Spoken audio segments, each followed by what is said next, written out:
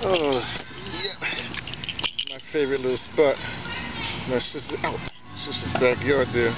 Uh oh. My brother-in-law, he's um, redoing the place. Now he's playing the weekend music, you know. So this gotta be real quick, I think. And then you got the kids over that way doing something else.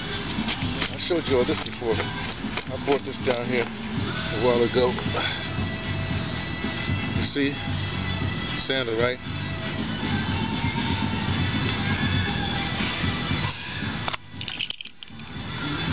American ingenuity. Come on, give it up for American ingenuity.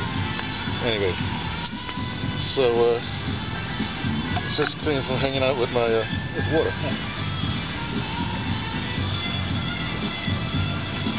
Hanging out with my grand nephew.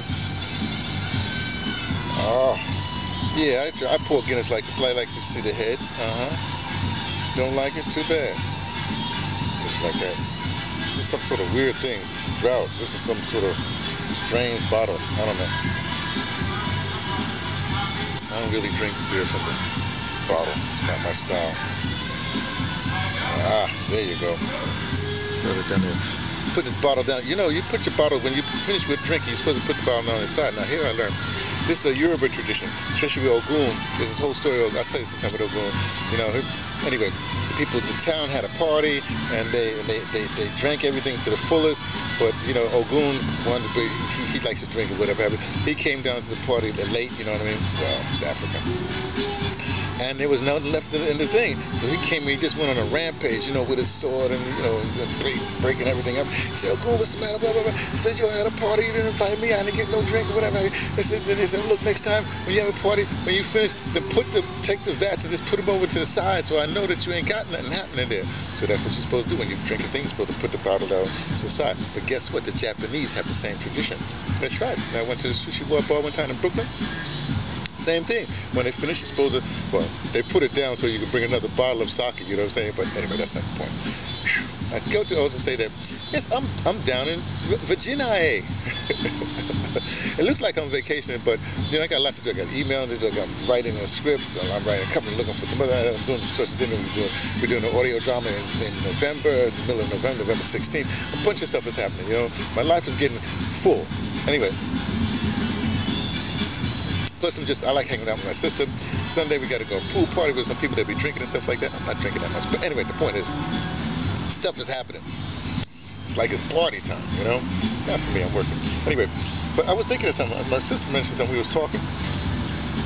And because, you know, well, her friends came down, one of her friends came down over the weekend, and they got to talking, whatever have you, and she realized her friend sort of, uh, you know, she's sort of like, miserable. I mean, for instance, I'm like 61 years old, but she hadn't had a life, no children, blah, she's, she's resentful, whatever, whatever, whatever. But it's a friend from, from childhood. Those kind of friends you keep for life. You know, I'm going to visit my best friend in St. Louis, and I've met him when he was, when he was in college at Princeton, whatever have you. So, you know, so, anyway, those friends that you meet at, you know, um, you grade school, junior high, high school, and some part of college, those are friends that usually stick with you. Then from, say, the middle of college or maybe a little bit after college, uh, until you know to, to your 60s, whatever have you. Those people are sort of everybody's jockeying and scheming and doing this, da da da da da. But then you, start meeting friends as you start retiring. That's after after you know you're 60, and those it's also like having a high school friend again. You know what I mean? And you're, you're more likely to have a bond with older people if they have not cantankerous and not bitter about whatever whatever whatever. So anyway, that's the revelation I had today. I just thought I'd share with you one of my favorite places on the on the planet, actually, my sister's backyard, Virginia. This has been me, T from Patterson Taking Stream today, letting you know what I only suspect.